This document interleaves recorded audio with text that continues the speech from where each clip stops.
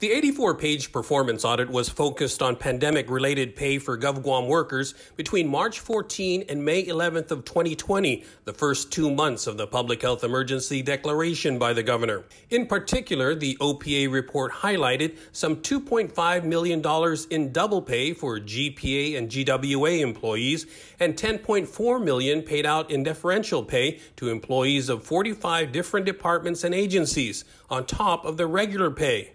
Of that 10.4 million, the OPA says 26 departments and agencies paid 25% differential pay, totaling $2 million, while 34 departments and agencies paid out a total of 4.9 million in what the report calls other pay. The agencies also paid out 15 and 10% differential pay, totaling more than 1.5 million.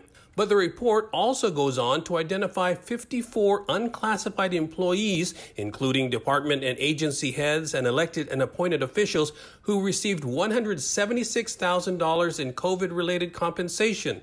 The OPA says this is an apparent violation of Guam law, which prohibits bonus payments for unclassified employees. However, the OPA says federal appropriations allowed the governor to enforce a differential pay policy. In fact, 29 million million of the 118 million in CARES Act funding Guam received was budgeted for COVID pay for public safety, health, and human services. The governor issued an executive order at the time implementing a differential pay policy for employees working in those areas. The policy identified staggered percentages based on the degree of exposure to the virus.